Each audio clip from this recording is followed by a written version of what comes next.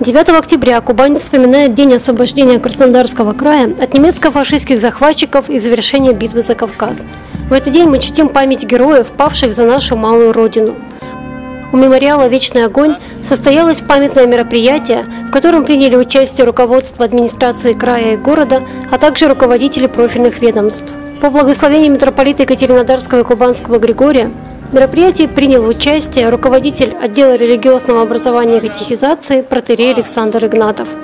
Участники мероприятия почтили память погибших в минуты молчания и возложили цветы к вечному огню.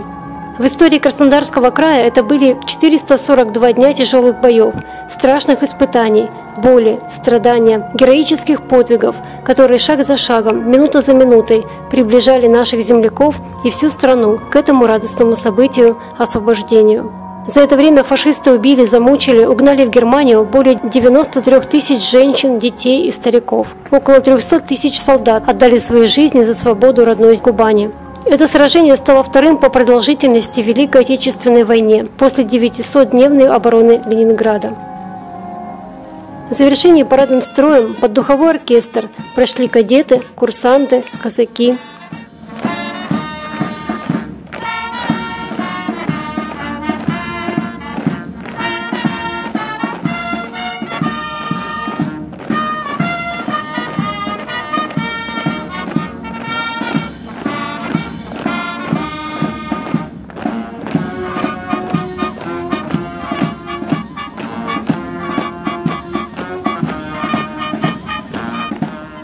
музыкальном театре состоялся торжественный праздничный концерт, на который были приглашены представители общественных объединений, казачества, молодежных организаций, ветераны СВО.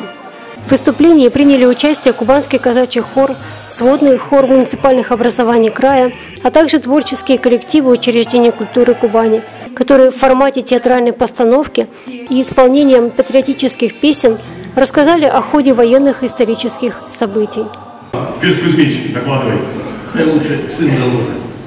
Есть приказ немецкого командования о вывозе зерна, об эвакуации крупного рогатого скота, около тысячи голов. Мы гордимся подвигом защитников Кубани. Мы благодарим воинов, которые противостояли захватчикам. Мы склоняем головы перед живыми и перед теми, кого уже нет.